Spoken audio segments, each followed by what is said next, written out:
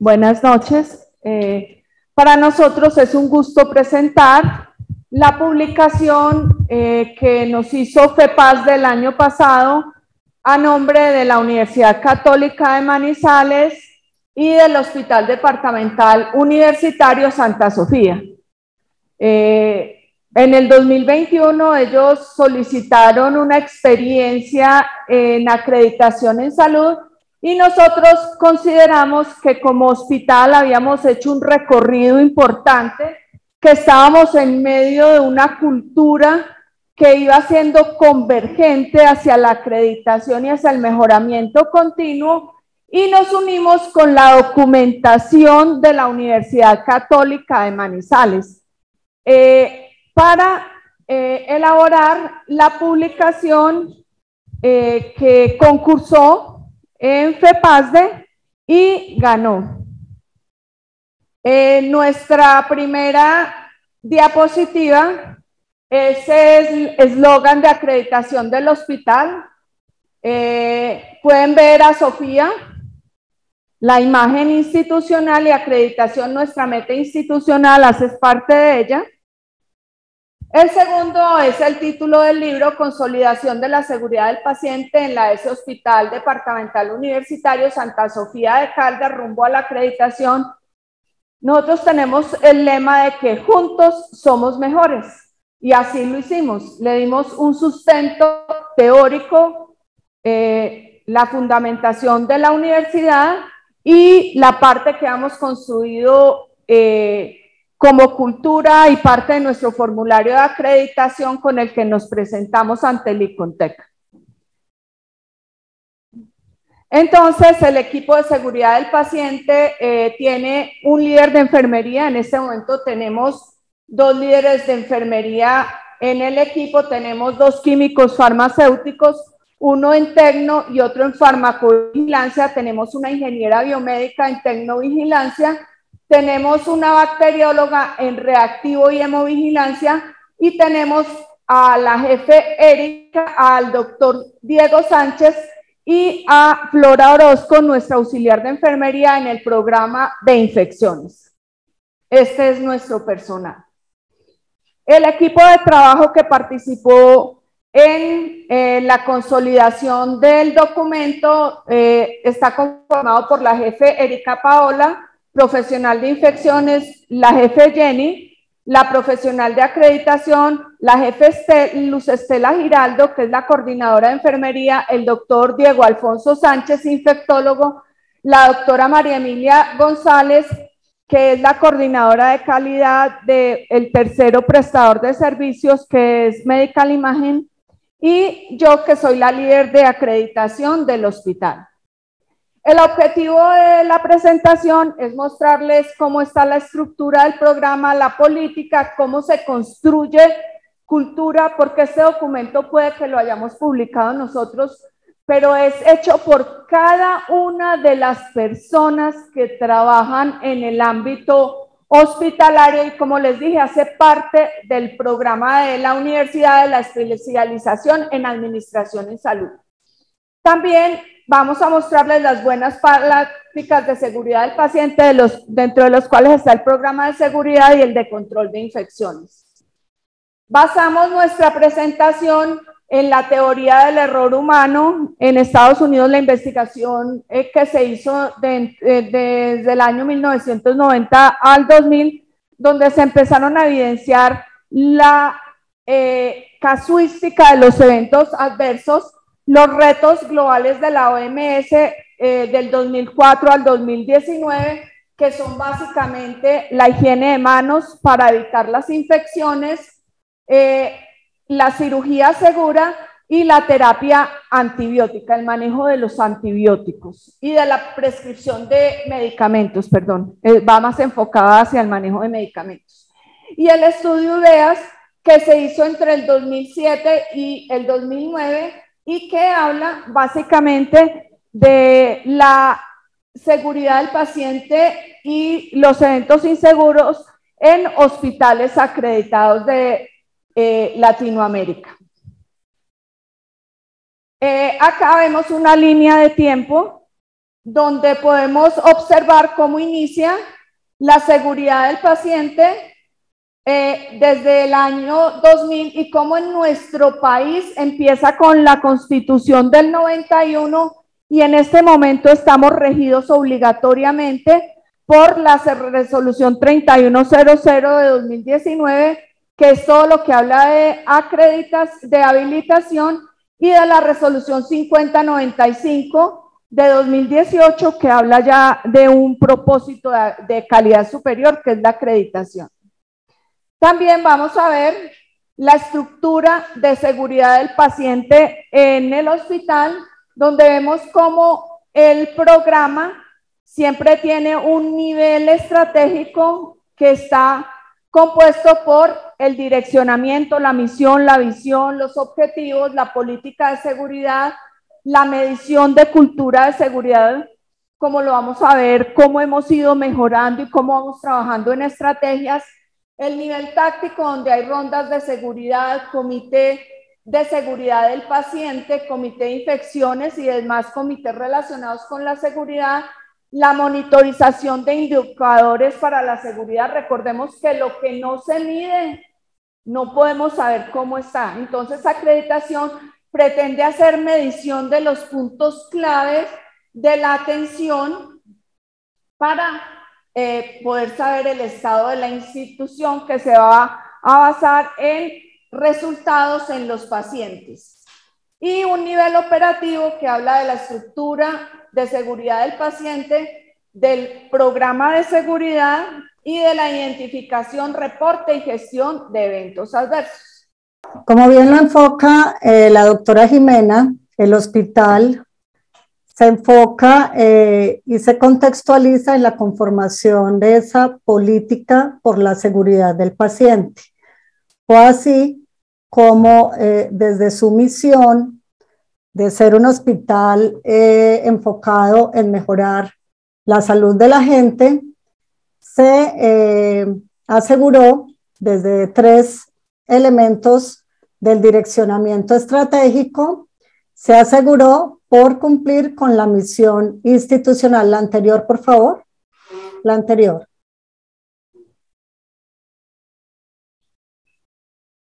Fue así como eh, se enfocó en el cumplimiento de tres elementos de ese direccionamiento estratégico. El primero, la misión, literalmente eh, refiriendo, somos el hospital público universitario del Departamento de Caldas que presta servicios de mediana y alta complejidad con calidad, atención humanizada y segura para mejorar la salud de nuestra gente. Es allí donde menciona la palabra segura. Asimismo, se adicionó a dos objetivos estratégicos. El primero, obtener y mantener la acreditación en salud, donde todos sabemos que es eh, de obligatorio cumplimiento tres estándares enfocados hacia la acreditación, que es el estándar 5, donde nos dice la institución debe contar con una política de seguridad del paciente. El estándar 6 nos habla de cómo medimos esa cultura por la seguridad del paciente y el estándar 7 nos dice cómo han implementado ese programa de seguridad del paciente. Y también eh, adicionó el otro objetivo estratégico que es promover el modelo de atención Sofía. En el acróstico eh, de la palabra Sofía, la S significa servimos con seguridad. Esa fue la base entonces para formular esta política de seguridad del paciente que dice, nos comprometemos con brindar siempre una atención confiable con mentes y manos seguras que identifican y controlan los riesgos para lograr mayores beneficios y resultados clínicos a nuestros pacientes en un ambiente apropiado y así aplicar los mejores conocimientos y tecnologías, obteniendo reconocimiento y preferencia de la comunidad, destacándose como una institución con estándares superiores de calidad. ¿Cuáles son esos compromisos de esta política de seguridad del paciente? El primero, enfocarse siempre en la gestión del riesgo, es decir, desde el programa y el modelo de gestión del riesgo, el hospital ha identificado para cada uno de los servicios, tanto asistenciales como administrativos, cuáles son esos riesgos a los que tiene y se enfoca para formular esos eh, controles y cumplir así con un plan de acción, evitando que esos riesgos se materialicen. Otro de los pilares fundamentales y compromisos de la política es promover esa cultura por la seguridad del paciente, que ya les voy a hablar más adelante, involucrando a todos los colaboradores de ámbito administrativo y asistencial. El otro compromiso es el de fortalecer la aplicación de todas las herramientas diseñadas por la seguridad del paciente, es decir, las metodologías de análisis, el reporte de los fallos en la atención. El otro de los compromisos es eh, importante, es involucrar la participación del paciente y su familia, y esto lo consigue el hospital, de manera que eh, en todos los momentos de la atención eh, hay un enfoque y un ámbito educativo con ese paciente y su familia, comprometiéndolos e involucrándolos, enseñándoles qué es seguridad del paciente, porque generalmente eh, los pacientes y sus familias siempre han confundido la seguridad del paciente con la satisfacción. Entonces, uno de los pilares fundamentales y compromisos es eh, educarlos, enseñarles qué es seguridad e involucrarlos en la seguridad del paciente, donde ellos van a eh, tener que cumplir con unas estrategias que más adelante Jenny les va a compartir.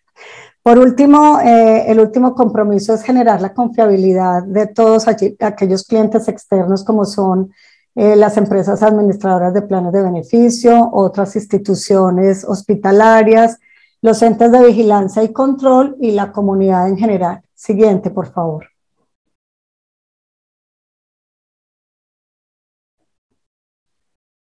Cómo eh, el hospital garantiza esa difusión de la seguridad, de la política de seguridad del paciente. Se tiene eh, en la intranet del hospital un minisitio que se llama Seguridad del Paciente, donde eh, con una periodicidad mensual se publican allí todos aquellos elementos y noticias de interés para que todos los colaboradores sean partícipes de la difusión, de las campañas, de todas esas guías de buenas prácticas siendo así conocedores, digamos que en tiempo real, de todas las actividades que eh, la institución promueve y promulga. Otro de los aspectos por medio de los cuales se, se hace esta difusión es el Comité de Seguridad del Paciente. Es el espacio eh, que está estandarizado, está normatizado y regulado, mediante el cual se sigue y se ciñe un plan de trabajo y se miden aquellos indicadores definidos que monitorizan el cumplimiento por la seguridad del paciente en la institución. Y por último, eh, hay un mecanismo que es un módulo, un software, eh, el software o el módulo en Almera. Almera es el software de gestión integral de la calidad, donde hay un espacio eh, diseñado específicamente para el registro de los fallos en la atención Allí todos los colaboradores de la institución de manera voluntaria registran sus fallas. Eh, lo ideal es que hagan ese autorreporte, es decir, que en el momento en que algún proceso o procedimiento no sale como se esperaba, se registre el fallo y allí eh, esta misma eh, herramienta le permite al hospital hacer el análisis correspondiente si son eventos adversos utilizando para ello el protocolo de Londres y finalmente después de ese análisis, eh, posteriormente ya definir qué tipo de evento fue con base en una tipificación que se tiene, exportar al final del mes toda esa gestión que se hizo y finalmente con esa información alimentar los indicadores eh, institucionales, tanto eh, generales estratégicos como los específicos de cada servicio. Siguiente, por favor.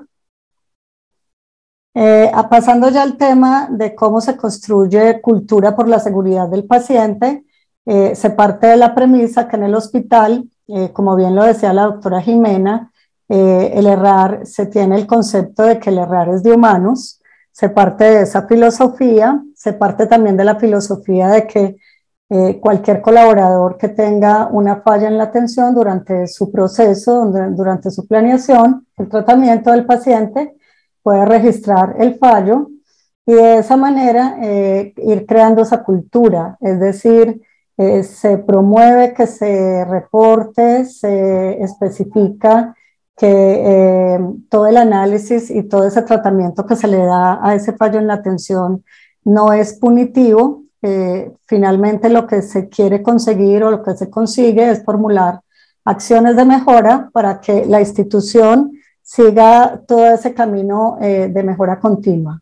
Y asimismo, eh, también estando alineados, eh, parte de estas cuatro líneas que vemos en la gráfica del lado izquierdo, donde está la línea de gestión de riesgos, como ya se los mencionaba, en el modelo de gestión de riesgo y la planeación de gestión del riesgo se han identificado previamente todos los riesgos inherentes a cada servicio, se formulan sus controles y se les hace seguimiento. La segunda línea tiene que ver con la gestión de eventos adversos propiamente dicha y explicada, donde adicional a que se reporta la falla en la atención, se involucra al equipo médico asistencial que tuvo relación y administrativo en algunos casos que tuvo relación con el fallo en la atención para que se haga toda la gestión, es decir, el análisis, la formulación de las acciones de mejora y el seguimiento. Es así como se garantiza que haya una gestión completa por esos eventos adversos. La tercera línea habla del sistema de monitoreo. Como bien se los dije, existen unos indicadores ya definidos, tanto estratégicos como específicos institucionales, mediante los cuales se puede decir eh, mensualmente cómo va el comportamiento en cuanto a la seguridad del paciente en el hospital. Y por último, la medición de la cultura propiamente dicha de seguridad del paciente, que para ello se tomó como referente eh, una encuesta que fue publicada por la Agencia para la Investigación y la Calidad del Cuidado de la Salud.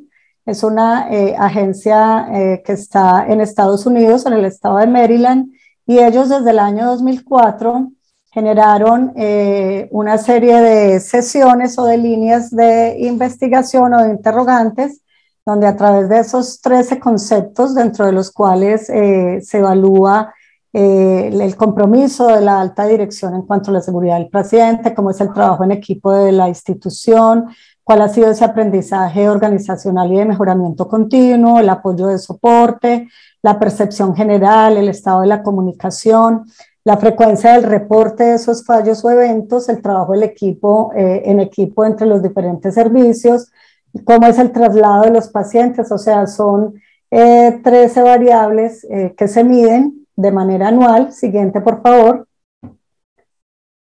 Para poder eh, decir finalmente cómo es que eh, van esos resultados orientados eh, a decir cómo es esa cultura por la seguridad del paciente. La cultura o la encuesta, como bien lo estamos revisando en este momento, es la que nos dice finalmente cómo es ese resultado de esa política de seguridad del paciente. Aquí podemos ver en la gráfica en el año 2018 se tuvo un resultado general de un 86.87% de cumplimiento y vimos a través de los dos siguientes años que hubo un crecimiento eh, de 2.68% eh, porcentual al año 2020 para un resultado de un 89.55%, es decir, hemos, se ha incrementado en el hospital eh, la cultura por la seguridad del paciente.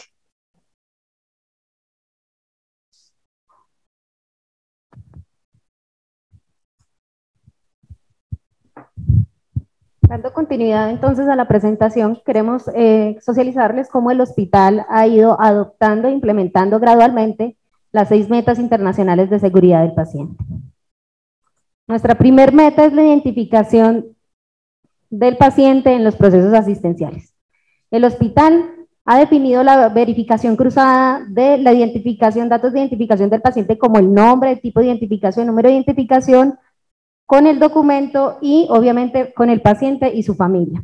Se han implementado unas manillas de identificación del paciente, como pueden observarlo en la pantalla, en la cual tenemos un código de barras que permite eh, realizar lectura de los, de los datos de identificación del paciente y tenemos tres casillas para identificar riesgos. ¿Cuáles riesgos identificamos? El riesgo de caídas, el riesgo de alergias y el riesgo de lesiones en piel por eh, presión. Asimismo, tenemos unos tableros de identificación del paciente en el cual también se semaforizan los riesgos del paciente y tiene los datos como nombre, identificación del paciente, RH, fecha de ingreso y diagnóstico. Además, implementamos en las muestras de laboratorio o en las muestras de patología unos códigos de barras que conllevan en la información el tipo de examen que se realiza, la fecha en que se toma la muestra y los datos del paciente. Realizamos entonces desde el momento que ingresa el paciente a la institución, en el servicio de urgencias o en el servicio de consulta externa, la verificación cruzada por parte del personal de facturación. Y durante los procesos de atención, como toma de muestras, administración de medicamentos, eh, transfusiones sanguíneas, también realizamos verificación cruzada de los datos del paciente.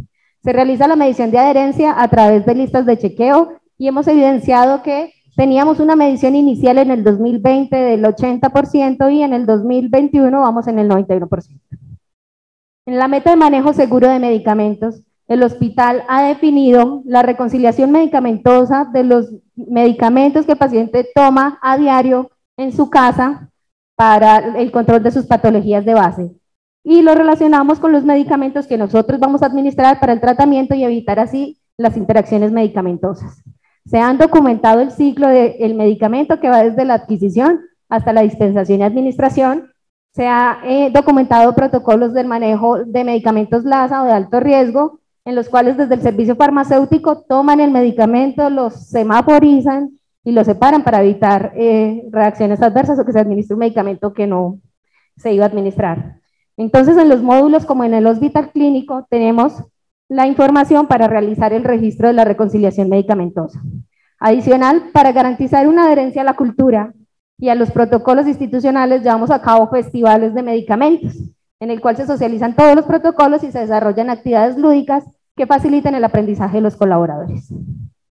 En la meta de identificación de riesgo y prevención de caídas aplicamos la escala de Cristo desde que ingresa el paciente. Entonces, como pueden ver, va alineado con eh, la manilla cuando hacemos la identificación de los riesgos.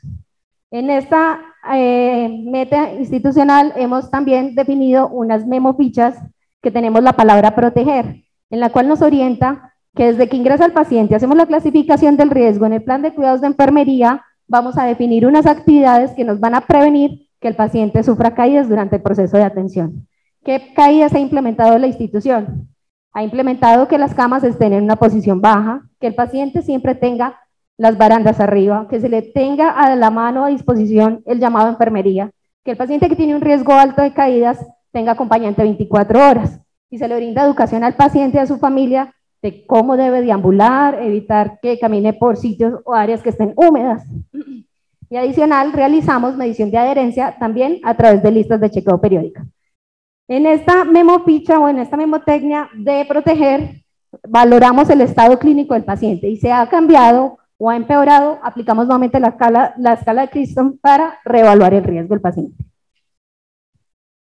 En el paquete o en la meta eh, de cirugía segura adoptamos la lista de cirugía segura de la Organización Mundial de la Salud y le incluimos una cuarta línea. Esta, esta lista de chequeo se aplica durante el proceso de, eh, quirúrgico que se le realiza al paciente o en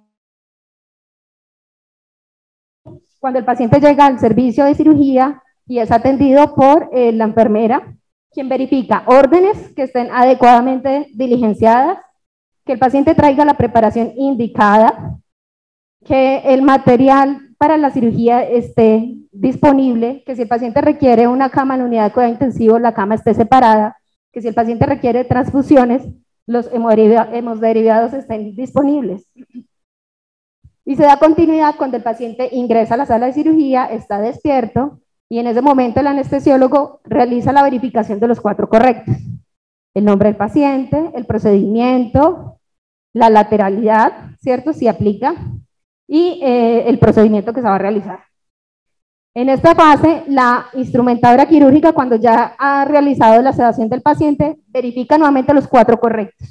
Y verificamos también que el instrumental quirúrgico tenga el, tiempo de, de esterilización que se requiere, que se tenga el material de osteosíntesis. La tercera fase es cuando ya el paciente se ha operado, cuando ya hemos terminado el acto quirúrgico y verificamos, primero, que no se hayan presentado incidentes o si se presentaron incidentes se retroalimente. Se hace reconteo de compresas, se verifica material o instrumental quirúrgico utilizado y el anestesiólogo indica cuál va a ser el manejo y el cuidado del paciente y revisa su herida quirúrgica. Entonces el paciente ya pasa al, proceso de recuperación, donde se verifican signos vitales, se verifica el estado de la herida quirúrgica y el control del sangrado. En la meta de comunicación efectiva, la institución que ha buscado, primero, que el proceso de comunicación, tanto entre el equipo de trabajo con los diferentes perfiles, sea adecuado y se brinde la información clara y concisa del estado de salud del paciente. Y adicional, que la comunicación entre el equipo de salud y el paciente y su familia sea clara y les permita apoyar el proceso de recuperación y el proceso de atención del paciente. Aquí también entonces definimos una memotecnia que se llama ideas y lo que nos permite es primero la identificación del paciente que viene desde la primera eh, meta institucional. Segundo, el diagnóstico, tener un diagnóstico claro y definir cuál va a ser el manejo. En el estado del paciente, reevaluar, reevaluar condición clínica, qué cambios se pueden presentar y qué signos debemos vigilar. En las actuaciones, entonces, qué está pendiente realizar del paciente, qué se ha realizado y cuáles son los exámenes que, que debemos darle continuidad. Y por último, los signos y síntomas de alarma que se deben informar tanto al personal de atención como a la familia y el paciente. Entonces continuamos ya con la sexta línea que tiene que ver con eh, la prevención y control de infecciones. Proseguimos entonces con el programa de prevención y control de infecciones asociadas a la atención en salud. Bueno, entonces, dentro de las medidas de limpieza y desinfección de áreas y superficies se tienen dos estrategias. Una de ellas son las luminometrías que estas miden las unidades relativas de luz de ATP de áreas y superficies que se están evaluando. La otra eh, son marcas con una tinta invisible con la finalidad de observar cómo es la calidad de la limpieza que se realiza tanto del personal de higiene hospitalaria como del personal asistencial. Continuamos con precauciones de aislamiento hospitalario. Eh, cuyo objetivo es la identificación de necesidades del paciente desde el ingreso al hospital, definiendo las medidas de aislamiento de acuerdo a sus signos y síntomas. El manejo seguro de ropa hospitalaria hace relación a todas las medidas de seguridad en cuanto a la recolección, manejo, distribución de la ropa hospitalaria. El manejo y gestión de residuos hospitalarios eh, la clasificación y segregación correcta de todos los residuos hospitalarios que se generan, el proceso seguro de estabilización, de esterilización, manejo de dispositivos médicos, hace relación a toda la trazabilidad que se hace de dispositivos médicos de uso y reuso para garantizar que estos cuenten con todas las condiciones de seguridad y calidad. Y el manejo de obras civiles es la intervención que se hace desde el programa de inspecciones en el desarrollo de las obras para eh, garantizar que no existan riesgos asociados como polvos, goteras, escombros que generen ingreso de microorganismos al área de los pacientes. Continuamos con los indicadores para el control y seguimiento de infecciones asociadas a la atención en salud. Tenemos tres indicadores trazadores, que es el índice institucional de IAS, tasa de infecciones asociadas a dispositivos médicos, tasa de infecciones de sitio operatorio. Continuamos con indicadores de buenas prácticas para el control de vías, donde encontramos control de ambiente hospitalario y manejo seguro de residuos hospitalarios. Y posterior a esto tenemos todos los indicadores de adherencia a buenas prácticas. Mm, bueno, continuamos con el protocolo de lavado clínico e higiene de manos, teniendo presente que este es el procedimiento más importante para reducir las infecciones asociadas a la atención en salud. Nuestro protocolo cuenta con cinco momentos de lavado de manos, que en este es donde se enfocan todas las estrategias y apropiación de cultura, entre los que se encuentra eh, que debemos lavarnos las manos o higienizárnoslas antes del ingreso al servicio, antes y después de tener contacto con un paciente, después de estar en contacto con fluidos corporales, antes de realizar procedimientos asépticos y después de tener contacto con el entorno del paciente. Ustedes observan dos habladores, todos estos están presentes en los lavamanos y en los dispensadores de alcohol diseminados del hospital, donde de manera práctica se muestra cuál es la técnica de lavado de manos o de higiene de manos, cuáles son los cinco momentos y cuál es la duración para cada uno de estos procesos.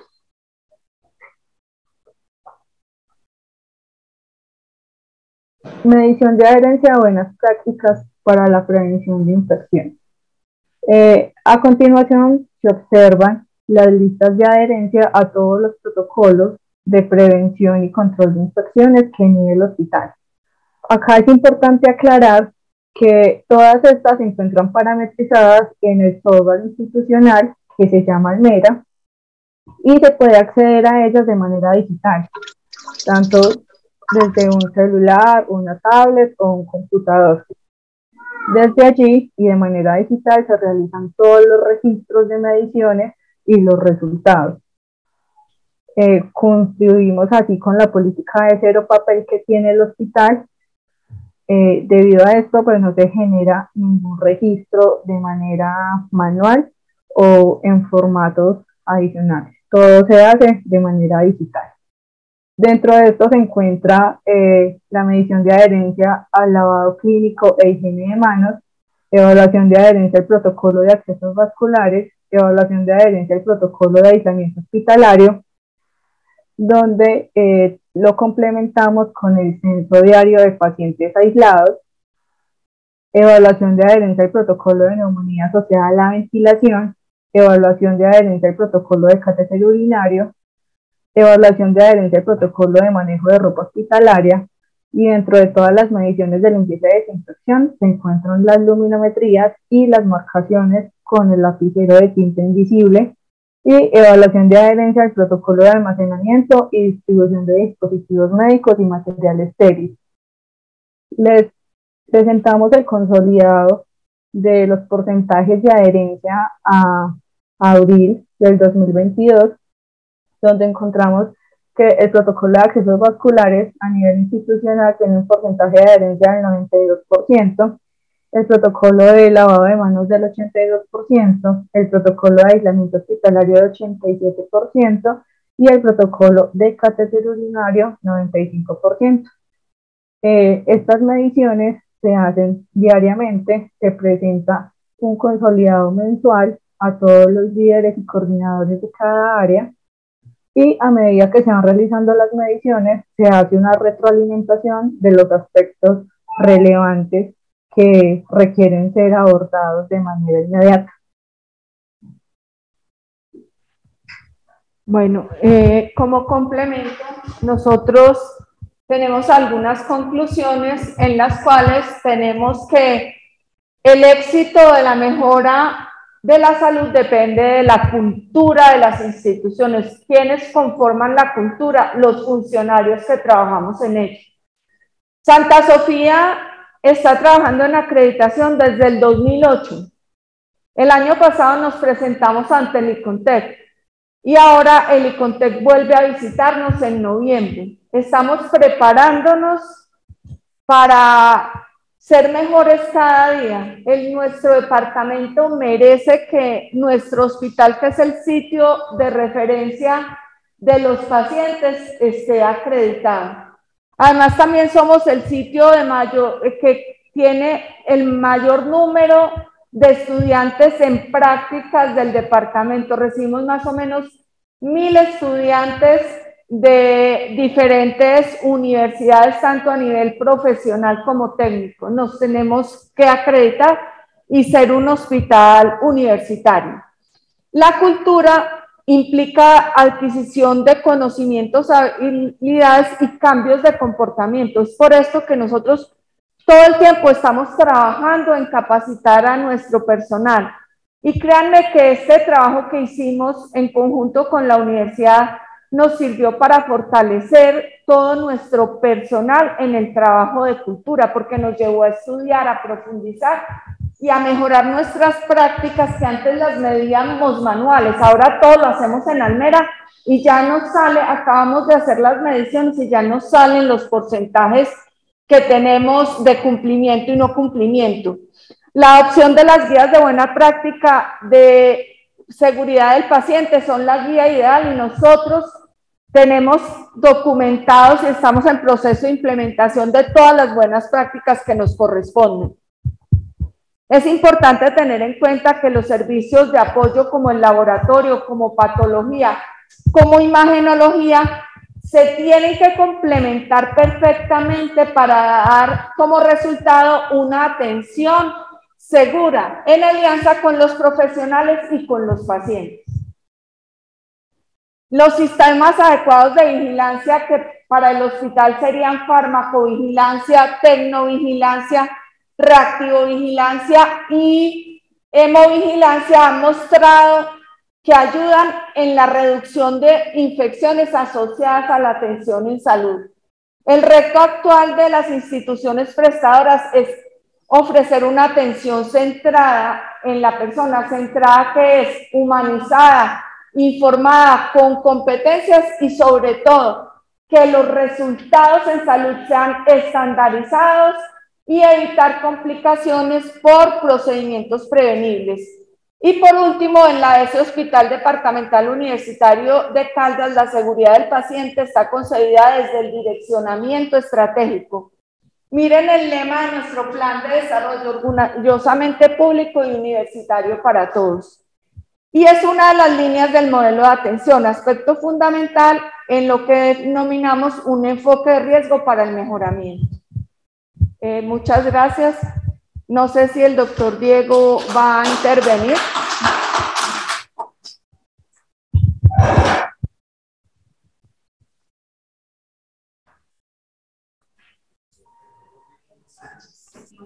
Doctor Diego.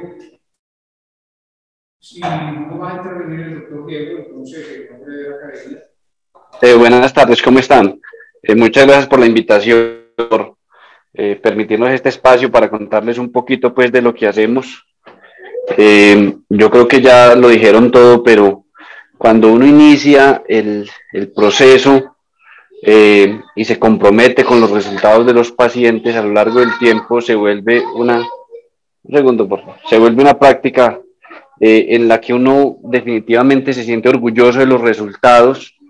Entonces, eh, eso es muy gratificante. Hemos logrado, pues, a lo largo del tiempo, tal vez en otros espacios podremos compartir esos resultados, cómo disminuyen todos esos indicadores que antes eran negativos y tenemos ya valores cada vez más buenos eh, que lo hacen sentir a uno orgulloso de su programa.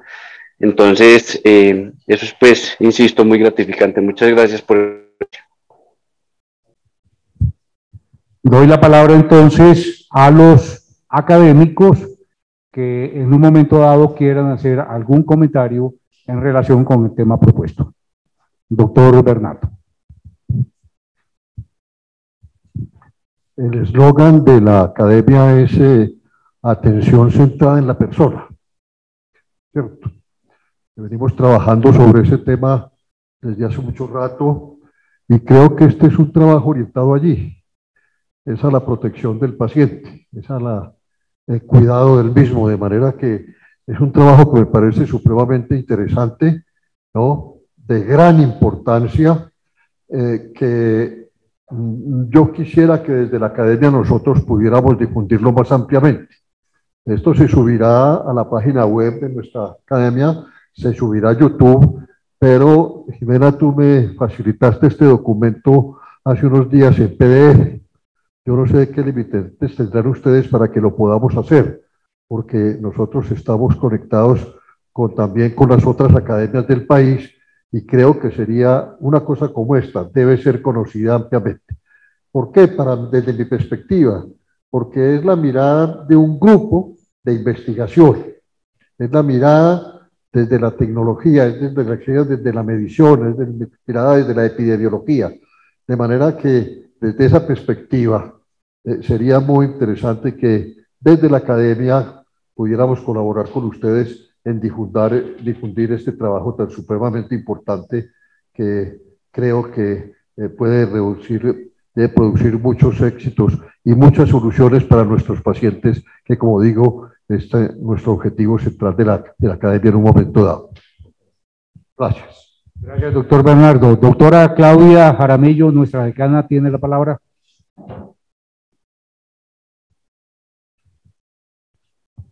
Gracias, Bueno, mm, reiterando un buenas noches para todos, para todas, y felicitando al equipo de profesionales que hoy, eh, liderado por la doctora Jimena, que hoy nos comparten esta experiencia en ese proceso de acreditación para de mucha alegría porque llevamos muchos años como a la expectativa de en qué va ese proceso.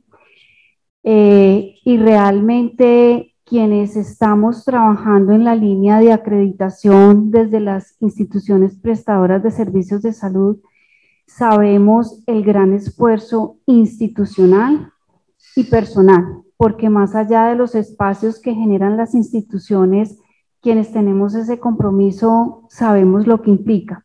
¿Y por qué digo, y hablo a título personal de quienes hacemos ese recorrido? Porque nosotros con nuestra IPS universitaria también estamos en este momento en un proceso de acreditación.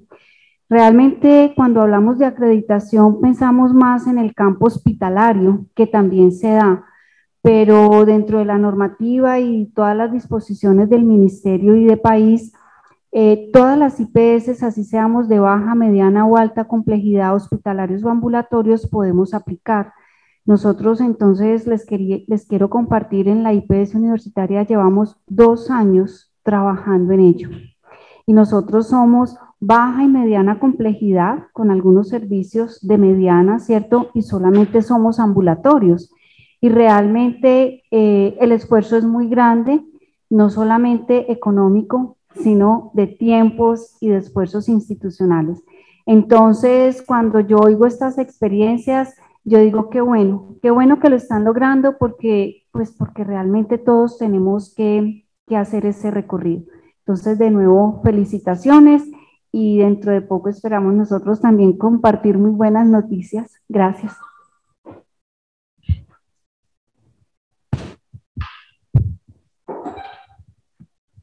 Si algún académico de los que están conectados virtualmente tienen algún comentario hacia el grupo expositor y hacia el comentario final de la doctora Claudia, tienen la palabra. Por último, para darle ya mm, cabida al doctor Hernán Darío con su espacio tradicional, de acuerdo, decirles que habían inquietudes de por qué durante este año apenas esta es la segunda reunión académica Debo decirles que en febrero no hubo reunión académica porque estábamos en pleno empalme, ¿de acuerdo? En marzo lo que había la anterior junta programado, que era el coloquio que luego se realizó, tuvo algún tipo de inconvenientes y por lo tanto en ese mes no se pudo hacer. Y realmente eh, eh, esta es nuestra segunda reunión académica formal. Doctor Hernán Darío, tiene su espacio para que por favor nos ilustre con sus comentarios y sus aportes tan importantes. Muchas gracias y buenas noches a todos. Espero que me estén escuchando. Te estamos escuchando, Hernán Darío. Es una revisión muy corta y muy importante acerca de que la promoción de pruebas de cáncer de próstata en hombres asintomáticos tiene un beneficio muy pequeño e incierto. Existen datos claros que lo demuestran. La pandemia ha interrumpido el diagnóstico y el tratamiento del cáncer en los sistemas de salud de todo el mundo. En respuesta, se ha alentado a los pacientes con riesgo de cáncer a acudir a los servicios de salud para respaldar el diagnóstico rápido. En Inglaterra, esto incluyó una colaboración entre el Centro de Cáncer Prostático y el Servicio Nacional de Salud del Reino Unido para encontrar a 14.000 hombres que se estima que aún no han comenzado el tratamiento para el cáncer de próstata por la pandemia. En la actualidad, no se recomienda invitar a las personas que no tienen síntomas a hacerse pruebas de detección de cáncer de próstata. Y esto debe abordarse con precaución porque para la mayoría de los hombres el beneficio es pequeño e incierto y existen daños claros, advierten los expertos en el British Medical Journal. En el New England Journal se, eh, hubo una asociación de cáncer prostático a principios de este año que se dedicó a encontrar 14.000 personas que se hacer un tratamiento para el cáncer que no se hizo por la pandemia. Sin embargo, los expertos ya han advertido que el Comité Nacional de Detección de, Cáncer, de Detección de Cáncer del Reino Unido no recomienda la detección temprana del cáncer de próstata. El Instituto Nacional para la Excelencia en Salud y Atención aconseja a los médicos de cabecera. Doctor Hernán Darío, doctor Hernán Darío, qué pena interrumpirlo. Eh, la, su voz está un poco distorsionada. Le solicito a ver si se retira un poquito del micrófono y entonces mejora su audición. A ver, acá también. ¿Acá está bien? Sí, ahí está mejor. El Instituto Nacional para la Excelencia en Salud aconseja a los médicos de cabecera que no se deben ofrecer pruebas a personas asintomáticas.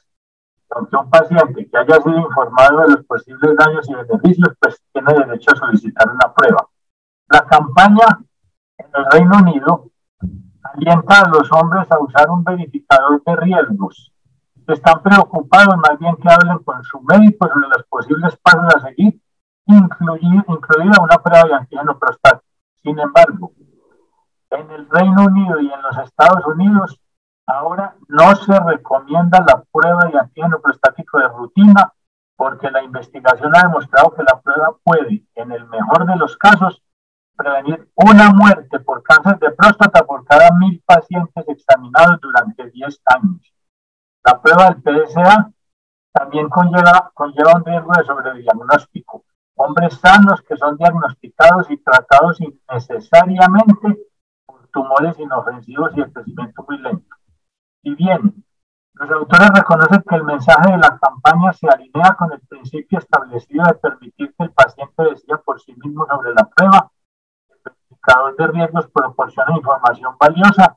Dicen que alentar a todos los hombres asintomáticos mayores de 50 años a programar una cita con el médico de cabecera para discutir su riesgo parece apartarse de un enfoque cauteloso y parece tener implicaciones de recursos. El hecho de que la campaña fomente la detección de enfermedades asintomáticas podría llevar a las personas a creer que el Instituto de Salud está promoviendo la detección, agregan los expertos. En el Reino Unido y Estados Unidos, los hombres asintomáticos pueden optar por una prueba de antígeno después de explorar sus opciones con su médico. Sin embargo, los expertos sugieren que llegar a una decisión compartida sobre el valor de una prueba es complejo y requiere de mucho tiempo. Los médicos de cabecera y los pacientes una orientación práctica y actualizada sobre la prueba del PSA, incluidas las herramientas y recursos recomendados basados en la evidencia para respaldar la, tema, la, toma de decisión compartida. Si se va a promover una herramienta de verificación de riesgos como parte de una estrategia de detección temprana, la herramienta debe basarse en evidencias y evaluarse adecuadamente. Están evaluando mejores formas de detectar el cáncer de próstata, pero mientras tanto, los esfuerzos deben continuar centrándose en un diagnóstico rápido de pacientes sintomáticos y en generar evidencia de la eficacia clínica y económica y la seguridad de cualquier programa nacional de detección. La información para el público debe enfatizar que aunque la prueba está disponible a pedido para hombres mayores de 50 años, actualmente no se recomienda y los hombres asintomáticos mayores de 45 en ciertas categorías de riesgo son elegibles para la prueba, esta debe indicarse en la guía nacional que no se ha actualizado durante más de seis años. Los médicos de cabecera y los pacientes tienen una guía práctica y actualizada sobre PSA, incluida la herramienta y los recursos recomendados basados en la, en la evidencia para poder respaldar la toma de decisiones compartidas si se va a promover una herramienta de verificación de riesgo como parte de una estrategia de detección temprana, la herramienta tiene que basarse en evidencia y tiene que evaluarse adecuada y periódicamente. Por último, mientras tanto, los esfuerzos deben seguir centrándose más bien en garantizar el diagnóstico rápido de un paciente sintomático y en generar la evidencia necesaria para satisfacer al Comité Nacional de Detección de la eficacia clínica y económica de cualquier programa de detección propuesto. Muchas gracias. Gracias a usted, doctor Hernán Darío. ¿Algún comentario con respecto a lo que el doctor Hernán Darío nos ha referido? Pues yo mismo hago un comentario y es que nosotros eh, a veces eh, nos confundimos también, ¿no? Porque generalmente, pues en nuestro país sigue recomendando la prueba para mayores de 50 años, asintomáticos o no. La verdad es que muchos, hay un estudio muy grande que se hizo en Estados Unidos donde hicieron 28 mil autopsias de pacientes que murieron por causas diferentes, eh, accidentes de tránsito, infartos, derrame cerebral, violencia, etcétera, y encontraron en autopsias un porcentaje hasta del 17% de carcinomas prostáticos que no se diagnosticaron en vida.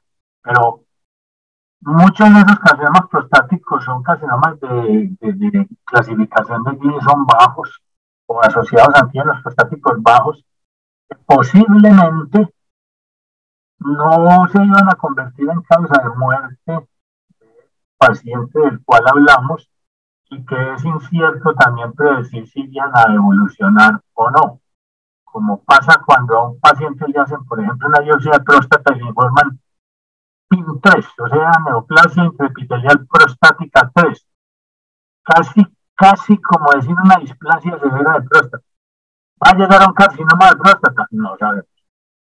No sabemos. Entonces, diagnosticamos un PIN3 y ¿qué hacemos? No sabemos qué hacer. Y esa es una de las recomendaciones. Entonces, si no sabemos qué hacer, ¿para qué nos ponemos a hacer biopsias de próstata? Y con el resultado no tenemos todavía claridad. Hacia Estados Unidos y hacia Europa, y se está recomendando mucho que no sea una rutina la toma del antígeno prostático, a no ser que el paciente ya se queje de problemas prostáticos, para tomar una decisión pues con, con el carcinoma y de diagnóstico pero en nuestro país todavía no tenemos claridad. Muchas gracias. A usted, doctor Hernán Darío. Si no hay otro comentario, pasaríamos al último punto, que son proposiciones y varios. Tiene la palabra el doctor Campo Elías. En cáncer de próstata siempre ha tenido esa duda y otro en el que también hay muchas dudas sobre qué hacer y qué no hacer es en el cáncer de tiroides. Muchos cánceres de tiroides de menos de un centímetro de diámetro se diagnostican y no pasa nada con ellos. Entonces, estamos exagerando, digamos, en los procedimientos, en las tiroidectomías, eh, con muchos que no va a pasar nada. Eh, cada vez con imágenes estamos siendo un poco más asertivos y yo cada vez hago menos cantidad de backup, pero sí encuentro más lesiones porque tenemos unos criterios mejor, eh, mejor establecidos para, para el manejo. Eh, muchas gracias. A usted, doctor Campolibre.